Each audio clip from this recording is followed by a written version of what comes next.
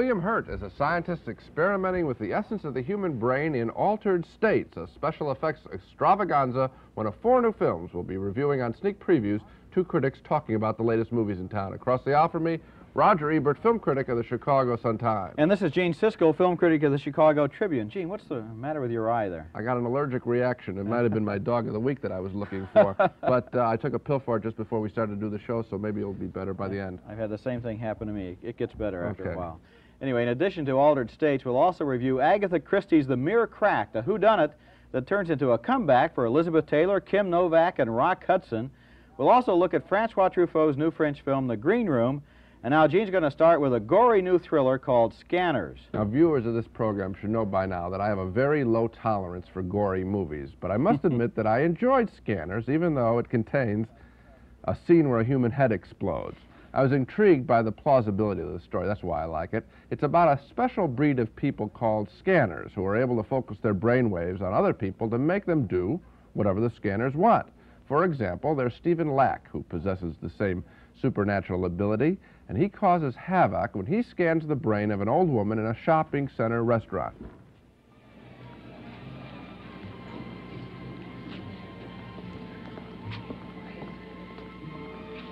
You fellow over there? I've never seen anything so disgusting in all my life. I'll tell you something. He's staring. I think he's looking at us. I think we're being picked up. Oh, it's too awful. Can you believe it? I don't know how they can let creatures like that in here. really.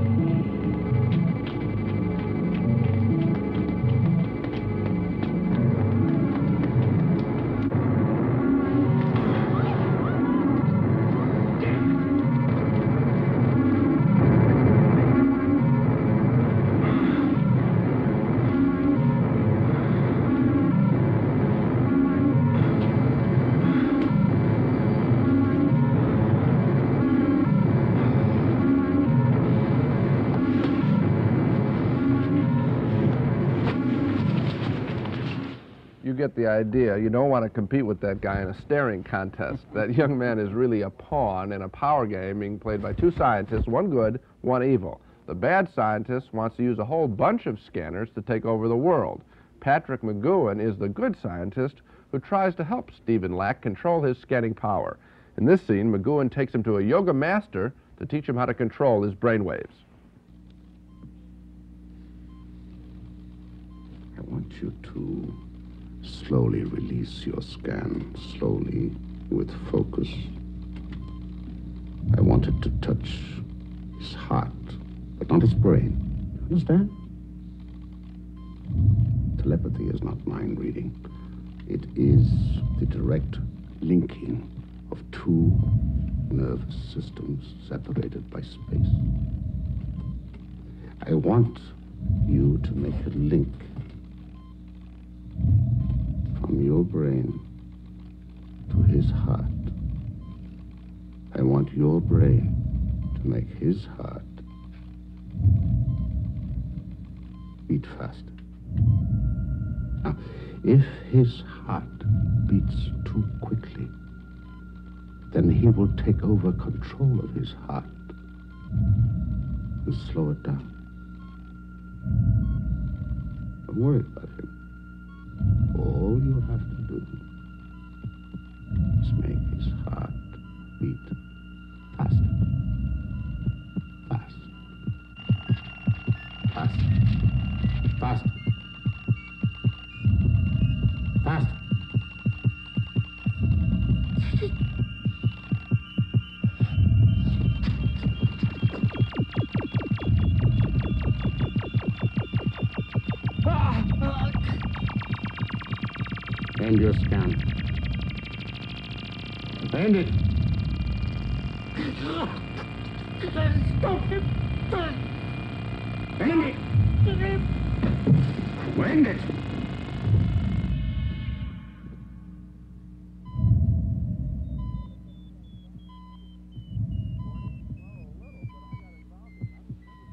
Corny? Well, a little, but I got involved in it. I was never bored by scanners, and I think I know why. This movie turns out to be a very complicated little thriller that actually convinces us that scanners could exist. In other words, it's not just a cheap shocker where all we notice are the special effects. Instead, in scanners, we buy the premise and we follow the story. I think it's a good little thriller. It's a good little thriller. I never bought the premise, and I never really bought the story either. I don't think there are really scanners, and so I don't think it's plausible. I know that the movie was directed by somebody that horror film fans think is a real young genius, David Cronenberg, Mhm. who also directed They Came From Within and The Brood. I think we've seen both of those films. I don't know. I admired his craft in this film. I thought, thought he did a good job of directing it, but I never got involved in the people. I never thought of it as their story. Mhm. So I was just watching actors going through this business, and then you get they, they're thinking real hard at each Mm. other, and heads are exploding, and I'm thinking, oddly enough, I can admire the technique, but I don't care. Well, I got involved in the story, as I mentioned, and I got involved for three reasons. One, I do believe, or like to believe, and I enjoy believing that scanners exist. I like the idea that people could bur- burrow into each other's brains. Uh-huh. Two, I like the idea that it would be used, and I think it is plausible, that uh, intelligence communities would experiment and use scanners to attack other people. That And- I believe. And three, okay, and three, I love one of the big payoff scenes at the end where this guy does battle with a computer. Mm-hmm. I love the idea that a human being's brain can be more powerful than a computer. I think it is, and I love the idea that that's the battle in the movie. So I got involved. Well, it is also neat the way Cronenberg takes just ordinary props, like when the guy attacks the computer, he does it over the telephone, and all you really see is a telephone, but in your mind, all of these amazing things I are agree. happening. So, a lot of craft in it anyway, but I still vote no.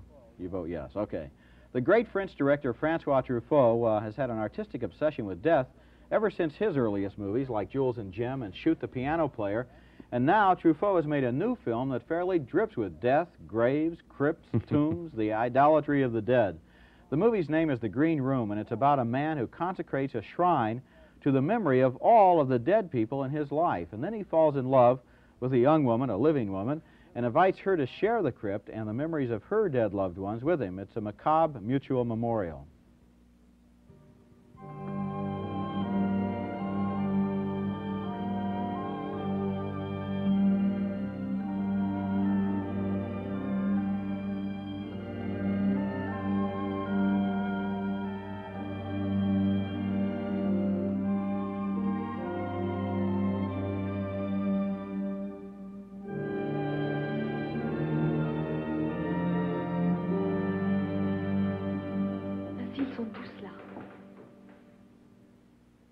Ceux que vous avez connus. Tous ceux qui ont compté. Oui, ils sont tous là.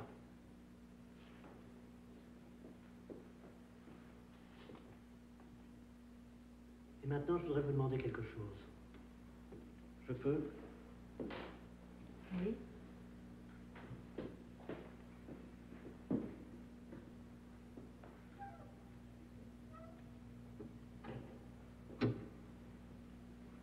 Cécilia, acceptez-vous de avec moi la gardienne de ce temple, d'en partager les droits et les devoirs Acceptez-vous de veiller sur eux, avec moi, sur eux tous? Ne me répondez pas tout de suite si vous voulez réfléchir. Mais laissez-moi vous dire que j'attends ce moment depuis longtemps. Depuis très longtemps. Ce que je désire, voyez-vous, c'est que mes morts deviennent les vôtres, et qu'en retour, les vôtres deviennent les miens. Ne croyez pas que la figure soit achevée. Il y a place ici pour tous vos morts. Simplement, leurs flammes viendront s'ajouter à celle-ci. Dites-moi ce que vous souhaitez, dites-le-moi. Ce que je souhaite, Oui, vous voulez le savoir? Je souhaite que toutes ces flammes se mêlent, se fondent, jusqu'à former une montagne de lumière, un seul flamboiement. et vous dire que dans votre vie, il n'y a place que pour une seule célébration? Oui, une célébration.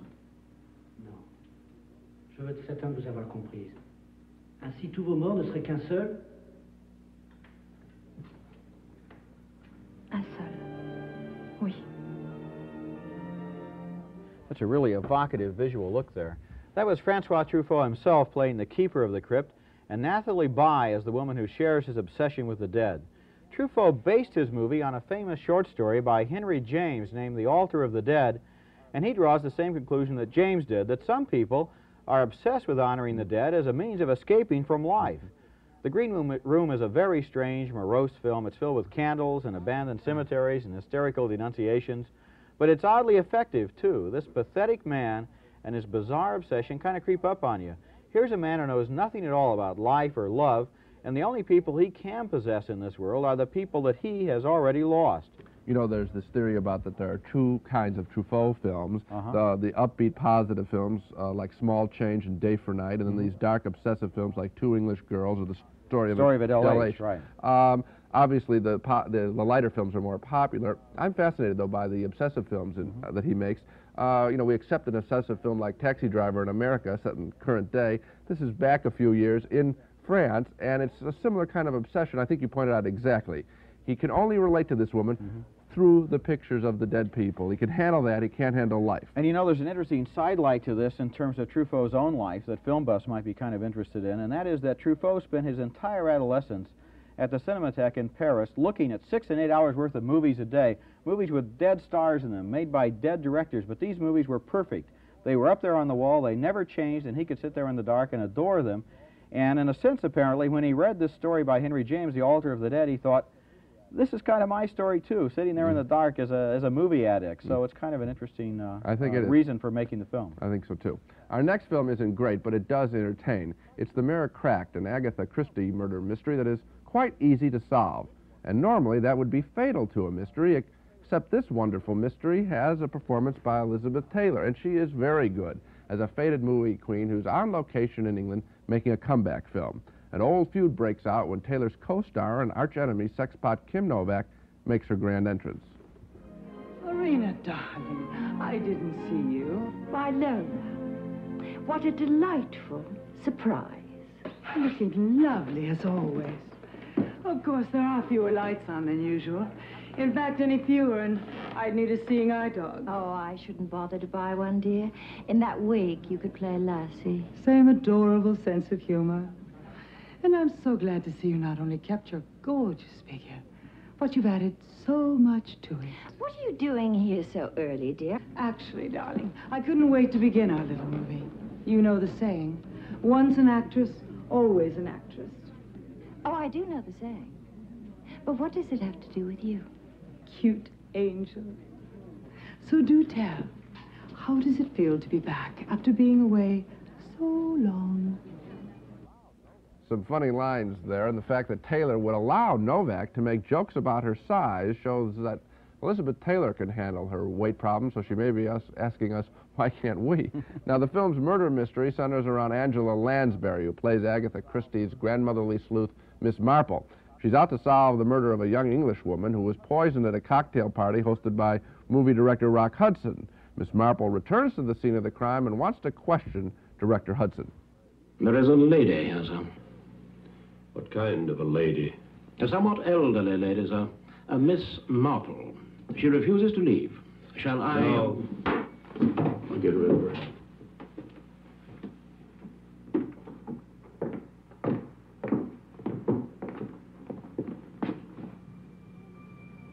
Mr. Rudd? Good morning, Mr. Rudd. Uh, look, Miss uh, Marble, or whatever your name is, I don't know what you're doing here, but you cannot stay. It's Marple, and I won't keep you long. I'm correct, am I not, that that is where your wife stood the day of the murder? She looked in that direction, and then her face froze. I think you'd better leave. Bellini's Mother and Child, a very fine painting, present at the Brera Institute in Milano, I believe. The whole thing is really quite simple, isn't it? I don't know what you're talking about. Oh, I think you do. Dermot. Good Lord. Aunt Jane, I might have guessed you'd be here. This is the spot where it happened, which makes it so much easier to understand. It's very simple, if only one looks at it the proper way. It all began, you see, with the kind of person that Heather Babcock was. Damn it, that's enough. The two of you come busting into my house. I want you out. Now! Perhaps you should call the police, Mr. Rudd. Let us go back, shall we? Now, the mystery story is not great, but I thoroughly enjoyed seeing Taylor and Hudson and Novak, stars of the 50s and 60s, who appear to have been hiding in a closet waiting to be released in an old-fashioned entertaining film. And I think that's what The Mirror Cracked is. That's certainly what the Mirror Crack wants to be. Yeah. I had a strange feeling. In 1981, I walk into a movie theater, I see a new film. It stars Elizabeth Taylor, Rock Hudson, Kim Novak, and Tony Curtis, and I am in the Twilight right, Zone. Right. I was thinking it was fun to see these people again. They've held up pretty well. They're doing a pretty good job. I was impressed by Elizabeth Taylor, as you were. I liked Rock Hudson's performance. hmm But gee, I don't know. I like these Agatha Christie movies. I like the first one, uh, Murder on the Orient Right. Express. I didn't much really like Death on the Nile, Mhm. the second one. This one, I wasn't too impressed at all. The mystery is not really very Mhm. intriguing. It's not very bizarre. Yeah. The answer when it comes is kind of depressing Yeah. and sad. Mhm. It was a letdown. Well, then let me tell you the way at least I enjoyed it. I, by focusing on Elizabeth Taylor and viewing it as her sort of comeback film. She hasn't been making good films lately. I feel badly about that. Every time I see her on the screen, I want her to be in something good and have a great role. This isn't that great role yet. She's on screen a lot here, and she comments on being Elizabeth Taylor, in effect, on fans, on her weight. And I found it very mm-hmm. entertaining, very refreshing, bold, and I think this film is going to allow her to do a good one next. Well, I hope so. Okay. Anyway, let's go along to a dazzling, deliberately overwhelming sound and light extravaganza. Our next movie is named Altered States. The movie tells the story of a scientific experiment that goes haywire, but this isn't a science movie, it's a horror movie, and it'll really work you over. William Hurt stars as the scientist who locks himself inside a sensory deprivation tank. He floats on warm water in total darkness until his mind cuts loose from all reality and begins to drift into terrifying fantasies. And in this scene, his wife tries to warn him that he's risking his life by subjecting himself to cosmic forces he doesn't even begin to understand.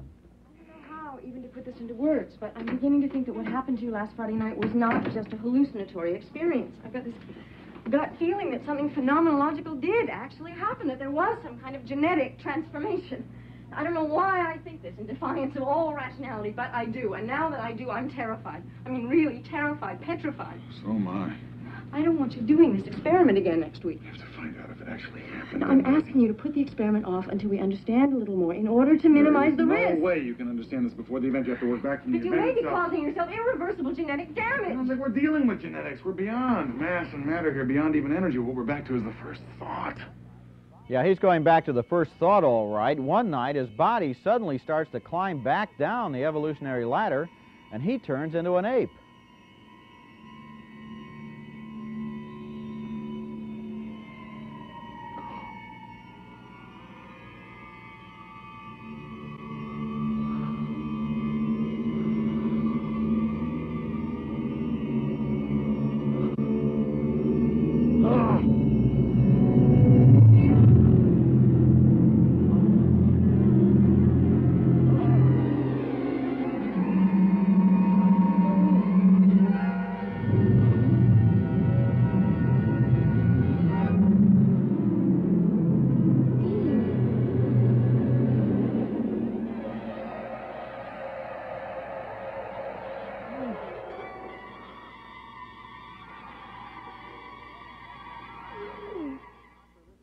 One night like that would be enough for most people, but not for this scientist. He takes psychedelic mushrooms that seem to trigger ancient memories in the very cells of his body and enable him to recreate that first moment of explosive creation right there in his laboratory. Well, now comes one of the movie's scarier scenes as his wife and colleagues monitor his regression. I've got nearly 11. That's more than two hours now. I think we should stop this. I'll tell you frankly, I'm really frightened. We could be screwing around with his whole genetic structure. Now, how do we stop this? You bring him down, Arthur, he's going to be sore as Oh, hell. we should never should have let him do it. I don't know how we let him talk us into this in the first place. We were humoring him, but we know he's not crazy. And we all know deep in our hearts that he may be onto something that is beyond our own comprehension. Now, because I believe him, I want this thing stopped.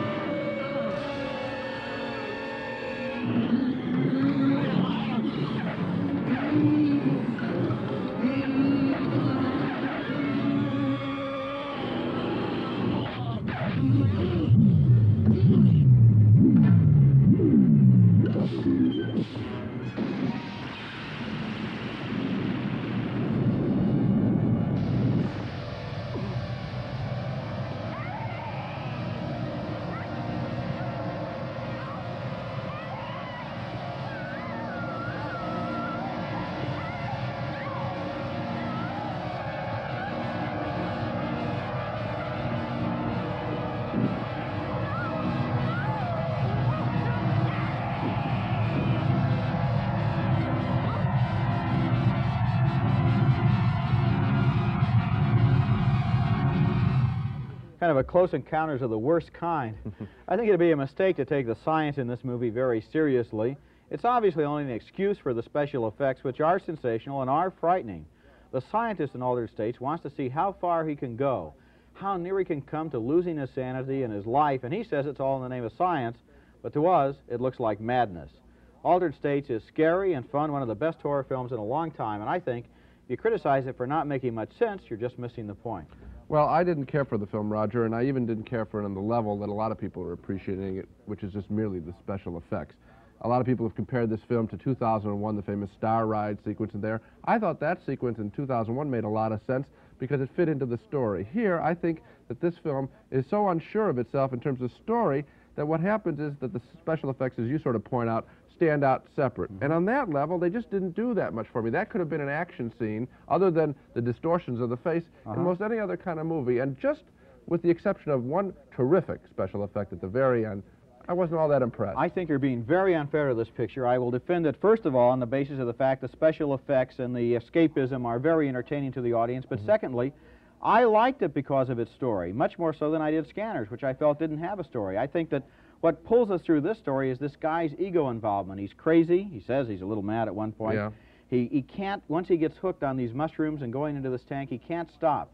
He's, he's obsessed. He wants to be, he wants to go all the way back and be Adam. And his problem is his wife isn't too crazy about being Eve. Well, just like you said on Scanners, where you thought the characters were sort of cold and you uh -huh. couldn't get involved with them, that's sort of the effect that I, this film had on me. I really didn't care about this guy. I didn't care about his trip. And so all I saw was a lot of flashes of light. Well, there's someone to shed some light on some bad movies. Gene leaping into the balcony at Spot the Wonder Dog here to help us track down the dogs of the week, the week's worst movies. Well, my dog this week is an old movie from late December that probably thought it was going to slip by our little reviewing stand here, but no, no way. way. First Family is one of the dumbest, most tasteless comedies ever to come out of a Hollywood studio. It's a parody of Life in the White House with, for example, an idiotic vice president who desperately wants one of President Bob Newhart's pens. I never get a pen. Just, oh, no, please. Wait, I just, look, this one is just like it. Take it. Uh, this, this is the last one. Who's, who's left? That's not funny, and neither is the scene where Gilda Radner, playing the first daughter, makes love to an African fertility god. You know, you given the characters that have been performing in the White House for the last couple of decades, you'd think it would be very easy to make a comedy about presidential life and politics, but First Family couldn't even do that, a dismal film. I agree, it was just awful. And my dog this week is another one of those outdoor adventure movies where rugged families bravely go to live in the savage wilderness, only they eat off of picnic tables. this movie is called The Mountain Family Robinson, and the family Robinson lives in the woods they're attacked by bears. They're swept away on the rapids, and then this little boy gets lost in the woods and falls off a mountain while chasing an eagle's nest. But the high point of the movie for me was when the family dog was chasing a bobcat, and in the close-ups, you can see that the big, vicious bobcat is really just an ordinary house cat. Just think, Spot, with a little makeup, you could play a mountain lion. okay. Now let's recap our reactions to the main movies on this show. Lots of disagreement this week. I enjoyed the brainwave thriller Scanners, but Roger didn't care about the characters, and that's why there's a yes next to my name and a no next to Roger's. He can't recommend you see it. I can. Scanners is rated R for good reason. It's very violent. We agree that Francois Truffaut's The Green Room is a minor film, but a worthy one, a worthy mood piece about one man's obsession with death. Two yes votes for that. We split on The Mirror Cracked. I think Elizabeth Taylor's performance overshadows a less than thrilling mystery. Roger disagrees. He thinks the whole movie took itself too seriously and a big disagreement on altered states. Roger thinks that it's an exhilarating, mind-bending trip. I find it full of flash, but empty of ideas. Well, I did like Altered States, and I think on this show, that's the movie that I stand behind and I like the most. I'd recommend it. I think it's a good film. And for me, it's Scanners, Uh, also in the science fiction area, a lot cheaper than Altered States, but that story got me involved, Scanner. Uh, Altered States did not. So we still have a disagreement, right? Okay. Okay, that's it for this week. Next time on Sneak Previews, we'll review five more new movies, including Fort Apache the Bronx, starring Paul Newman as a troubled cop, The Devil and Max Devlin, a comedy with Bill Cosby, and The Incredible Shrinking Woman, starring Lily Tomlin as a miniature housewife. Until then, we'll see you at the movies.